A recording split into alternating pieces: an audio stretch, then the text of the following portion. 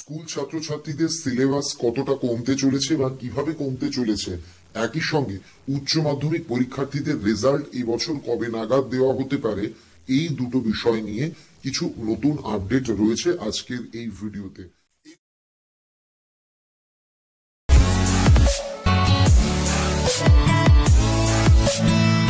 ICSE পর এবার syllabus কমানোর প্রস্তুতি শুরু করল মধ্যশিক্ষা পর্ষদ।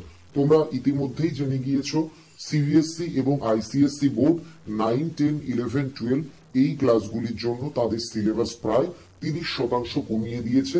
এবার একই তোড়জোড় শুরু করছে আমাদের পশ্চিমবঙ্গ মধ্যশিক্ষা পর্ষদ। ইতিমধ্যেই আগামী বছর পরীক্ষার জন্য কীভাবে সিলেবাস কমানো যায় তা নিয়ে আলাপ আলোচনা কিন্তু শুরু হয়ে গেছে। এই এই যে সিলেবাসটা কমানো হবে, সেটা মূলত নবম, দশম, একাদশ, দ্বাদশ, এই চারটি শ্রেণির জন্যই কিন্তু কমানোর জন্য তোড়জোড় শুরু হয়েছে। এই প্রসঙ্গে সিলেবাস কমিটির চেয়ারম্যান অভিক মজুমদার কি জানিয়েছেন সেটা আমরা শুনব। অভিক বাবু একদম স্পষ্টভাবে জানিয়ে দিচ্ছেন, সিলেবাস কমানোর প্রক্রিয়া চলছে। এটা নিয়ে বিশেষজ্ঞদের সঙ্গে আলোচনা চলছে। তবে অন্য বোর্ডের মতো থার্টি পার্সেন্ট বা ফর্টি পার্সেন্ট দুম করে সিলেবাস কমানো হবে না। ছাত্রদের কথা মাথায় রেখে সামান্য কিছু সংযোগ মানে বিয়োজিত হবে সিলেবাস, সামান্য কিছু কমানো হবে।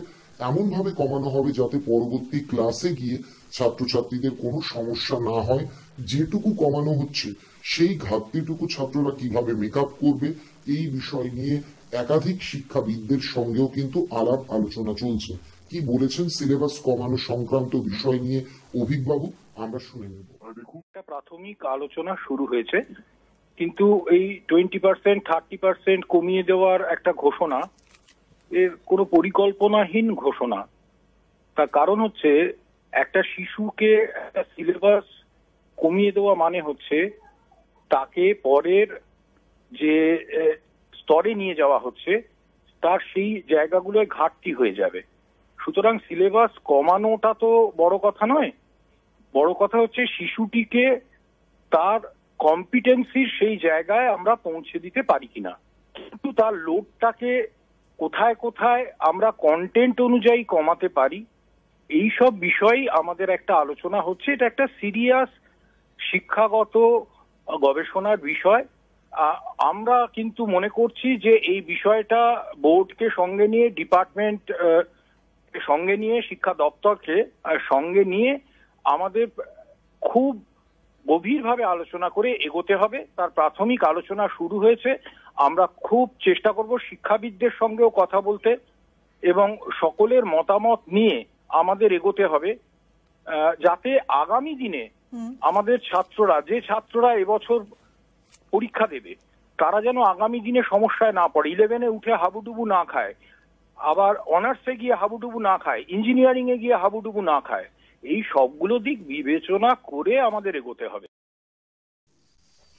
দ্বিতীয় আপডেট রয়েছে উচ্চ মাধ্যমিকের রেজাল্ট নিয়ে।